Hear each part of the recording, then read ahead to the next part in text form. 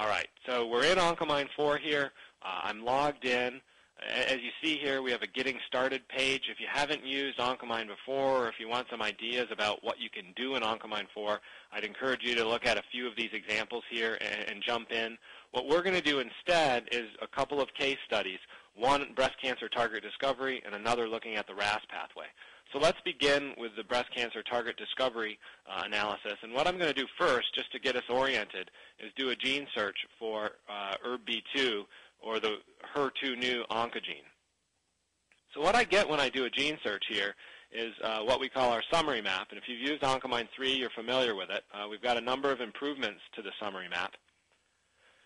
So we have cancer types as rows and analysis types as columns. Red boxes indicate significant overexpression results. Blue boxes indicate significant underexpression results.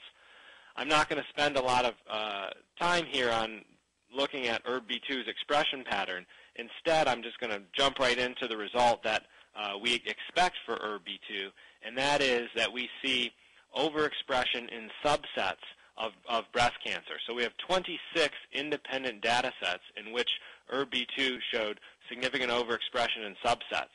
Our, uh, our subset analysis we call outlier, and uh, the numbers here indicate uh, independent data sets at the thresholds that are uh, set here uh, by default. So we have 26 independent data sets in which ERBB2 is a top 1% scoring gene. So if I, if I drill down on those analyses here by simply clicking the box, I'm going to get these outlier results. Uh, you'll notice that we've got some DNA copy number results mixed in with the gene expression results. I can simply add a filter to say I'm only interested in the mRNA results.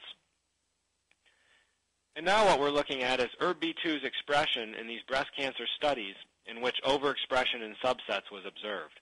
So for example, in this first study listed here, the Huang breast study with 89 cancer samples, we see that a number of our outlier analyses at the 75th, 90th, and 95th percentile, ERBB2 is high ranking because it's overexpressed in a subset of breast cancers.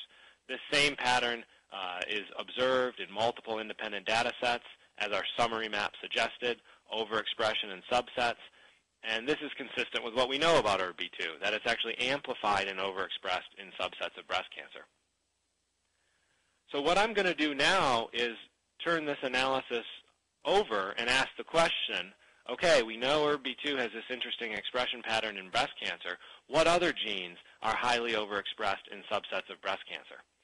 So to do that, uh, what I'm going to do is uh, remove my ERBB2 gene filter. And what that does is now says, let's look across all genes and ask the question, which genes show high overexpression in subsets of breast cancer? I'm going to apply some filters here and to basically say let's limit the data sets we're looking at looking at to only those data sets that have a large number of samples. So I'm only interested in data sets with at least 150 samples. I've got 10 data sets left. So what I can do now is uh, select analyses that I'm interested in for a meta-analysis. What I'm showing you uh, right now is the genes that are most overexpressed in subsets in one particular data set. But because we have 10 independent data sets with a good number of samples, what we're going to do quickly is select these data sets for a meta-analysis. And the way meta-analysis works in Oncomine 4 is simply by selecting the analyses of interest and then hitting the compare button up at the top. So we've got uh, 10 independent data sets, and we're asking the question, which genes are most overexpressed at the 95th percentile, or restated, most overexpressed in at least 5% of cancers. So I hit compare, and we'll wait a moment as this uh, result is computed.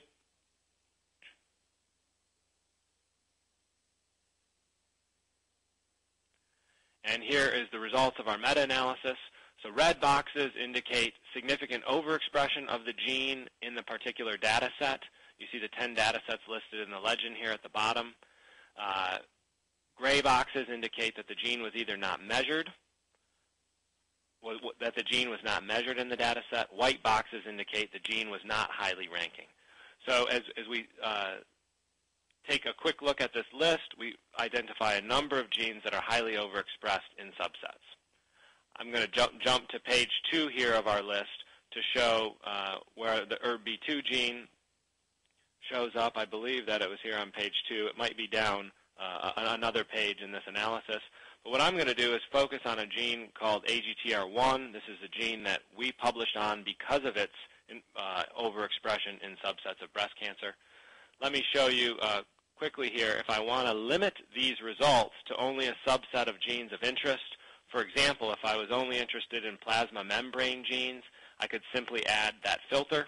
So all genes that localize to the plasma membrane. If I was only interested in kinases, I could add that filter as well. What I'm going to do is ask the question, are there known drug targets, are there known FDA-approved drug targets that are highly overexpressed in at least 5% of breast cancers? And so now we've got uh, the exact same analysis we're going to do, and we're going to filter that result set by genes that are overexpressed in subsets. So you see now the gene that I pointed out previously, AGTR1, is at the top of the list. AGTR1 is the angiotensin receptor targeted by antihypertensive drugs, losartan. And this is really why we were excited about this result early on. So this gene AGTR1 has this very interesting expression pattern, and there's also a drug that can block AGTR1. So now let's look at AGTR1 in particular. So I'm simply adding AGTR1. I'm going to remove my drug targets filter. And now you can you, you should notice that we're going to away from the heat maps and meta maps to single gene bar charts because we're look we, we've queried for now only one gene. So we can look across uh, the data here and see that AGTR1 is, is indeed highly overexpressed in subsets of breast cancer across multiple independent data sets. So each click that I do here brings up a different data set, but the, the very interesting thing is that we're seeing a, a, the common expression pattern of strong overexpression in subsets. So now if we're interested in, in, in knowing, well, what subtypes of breast cancer is AGTR1 overexpressed in? We can, all, in addition to our outlier analysis, we can also add the cancer subtypes analysis. So now uh, you, you should notice that we've filled out this list selector a little bit more, and uh, we can see that AGTR1 is associated with estrogen receptor positive breast cancers in multiple independent studies. And I'm showing you that here over on the right.